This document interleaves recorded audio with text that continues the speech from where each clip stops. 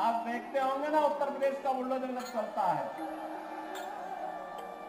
अच्छे अच्छे माफियाओं की गर्मी शांत कर देता है।